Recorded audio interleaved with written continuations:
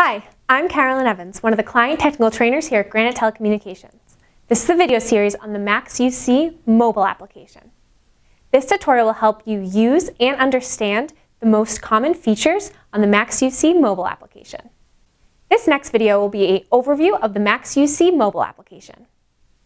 Once you've downloaded the MaxUC mobile client on your mobile device from the Android Play Store or the iTunes App Store, you're ready to use your business soft client on your mobile phone or tablet. Click the MaxUC mobile client's icon to launch the application. Tap Login. Then select Login manually. You will be presented with a list of carriers. Select Granite. Read and accept the terms of use you have additional options to allow incoming and outgoing calls. Enter your CommPortal phone number and password and select Login.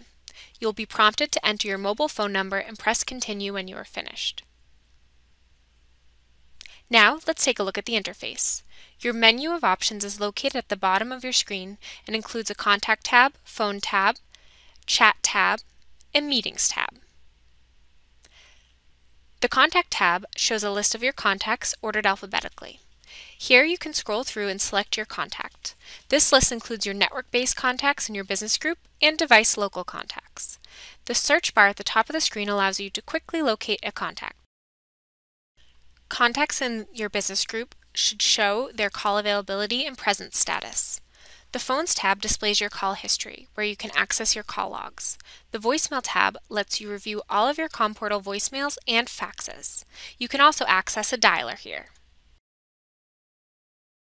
The MaxUC mobile client also allows you to instant message other contacts in your business group. MaxUC also supports SMS capability, which would allow you to SMS or text a contact outside of your business group using your MaxUC number. If you do not have this feature but are interested in it, please reach out to us and we'll be able to get it added for you. The Meetings tab enables you to join and schedule meetings as well as view any and all upcoming meetings that you've accepted. To access your profile and settings, including the call manager, tap the profile icon here. In your Profile and Settings tab, you can configure options such as chat and specify whether to allow your calls to use MaxUC Mobile or to use cellular data. Thank you for watching this video on MaxUC Mobile.